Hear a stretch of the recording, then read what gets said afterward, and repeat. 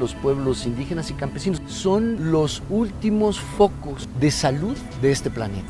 Uno de los mayores retos de la humanidad en este tiempo es indudablemente preservar la vida frente a la amenaza del cambio climático. Se te dice que a la felicidad se llega por el consumo, pues estamos haciendo un gesto de consumo que es inútil. Los medios solamente reproducen información reciclada. No te pierdas la nueva entrega de En modo retrospectiva.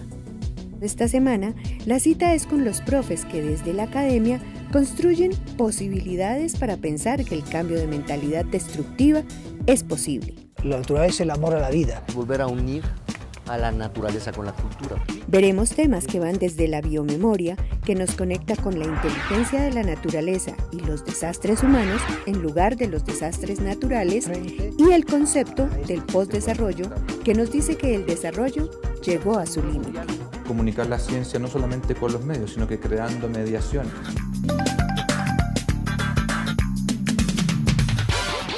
Véanos por Zoom, el canal universitario de Colombia.